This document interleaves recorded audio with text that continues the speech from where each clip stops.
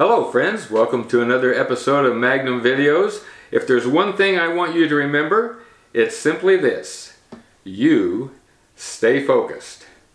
Now, those of you who are subscribers to my channel, thank you very much, or who have watched a lot of my videos, thank you very much, know that I always end my videos with those two words, stay focused. And that's what this video is about. So, stay tuned.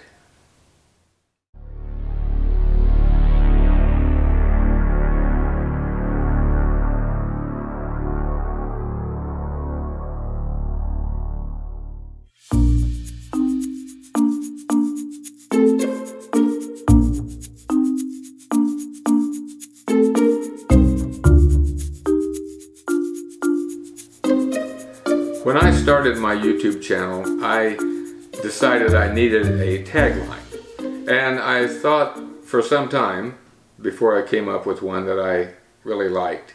And Stay Focused was the tagline that I chose. And there were a couple of reasons for that. First of all, staying focused is something that's very important if you're shooting video or photo. Uh, because you want your camera to be in focus. You want your lens to be in focus. And there's not a, a great deal more that we need to discuss on that aspect of it because it's pretty obvious that being in focus in focus is very important for the professional quality that you want to achieve on your videos. However, there is a second meaning to those two words and that is simply staying focused on what you're trying to achieve. Now, if you're wanting to do a tutorial video, it's important that you stay focused uh, from the beginning to the end on all of the steps involved in what you're trying to teach your viewer.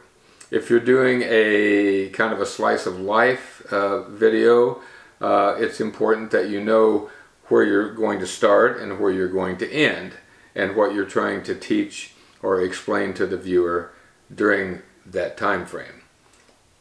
Casey Neistat uses a kind of a three-act play format on his videos. It's a setup, problem, and resolution. And it's worked very well for him. So you can also use that, but at the same time you need to stay focused on where you're starting, what the problem is, and what the resolution is so that you know point A and point B and you can explain that in your video. Now you can also use a lot of uh, b-roll or additional footage uh, to further illustrate some a point that you're trying to make to the viewer to better explain it if it's a tutorial or, or a cooking video or whatever it happens to be a music video if you want to show the chord progression, etc. Do some B-roll and show how the chords are formed. Uh, all of that. But the important thing is to remain focused the whole time so that you know where you're at and where you're wanting to go. Now, it's also important that you keep your objective in mind at all times. There will be times and this has happened to me where I've started out making a video. I know what the story is. I know where I'm starting. I know where I want to go. And then somewhere in the middle of that progression, an idea pops into my head and I think, whoa, I should do that instead. Not a good idea. Keep on track. Stay focused. Finish what you're doing. And then if that idea still seems good, once you finish the project you're on, go back and make another video of that concept or that idea and make it a separate uh, entity, a separate video. That way, you're not diverging from your original path, which obviously was probably a pretty good idea in the beginning until that other idea popped into your head.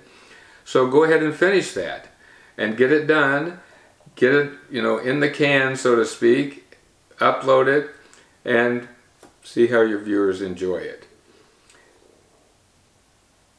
And as far as staying focused, it's important not only as a YouTube creator, but it's important in other aspects of life, in your financial uh, aspects, in your health aspects, in your family relations aspects. Stay focused and know where you're wanting to go and figure out a way to get there. And I think if you do that, if you stay focused, you will be able to achieve the objective that you've set out uh, to, to aim for. So that's it for now. I hope you enjoyed this video. I hope you'll leave a comment down below and tell me what you think. I hope you'll subscribe if you like videos like this. I hope you'll like this video because the thumbs up is always good. I hope you'll share it with your friends and family on Twitter and Facebook, etc. So, as we said at the beginning, until I speak with you again even after that, you stay focused.